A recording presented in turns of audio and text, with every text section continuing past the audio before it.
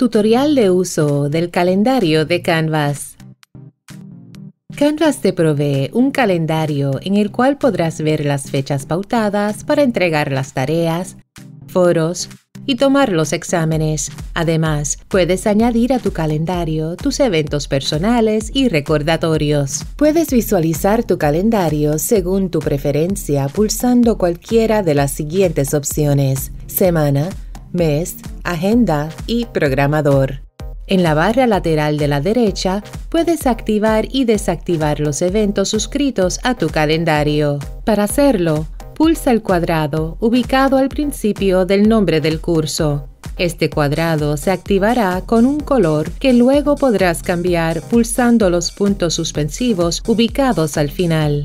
Observa que tendrás un calendario personal con tu nombre, en el que podrás guardar recordatorios personales, entre otros eventos. También notarás que los eventos marcados en tu calendario utilizan el mismo color que tenga el curso.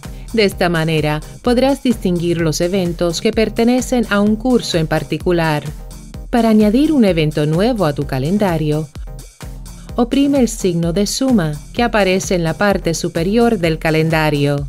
Aparecerá una ventana nueva donde tendrás que llenar la información que se te pide.